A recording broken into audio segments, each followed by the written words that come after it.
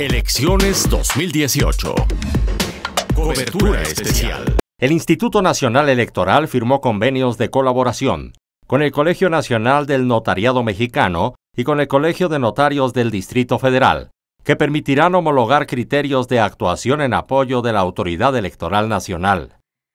Al respecto, el consejero presidente del INE, Lorenzo Córdoba Vianelo, destacó que con la firma de estos convenios se da un paso más hacia la certeza y la seguridad jurídica de la elección, con el apoyo histórico y comprometido del notariado para diversas actividades de fe pública que se tendrán que realizar en las próximas semanas y meses.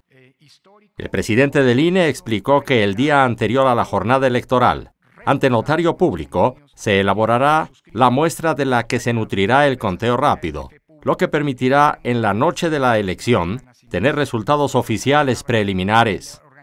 Asimismo, explicó que las intervenciones de las y los notarios permitirán dar fe pública en diversas actividades, como el proceso de impresión, entrega y resguardo del material electoral, el cotejo muestra de las listas nominales y la revisión de los sistemas informáticos, entre otros.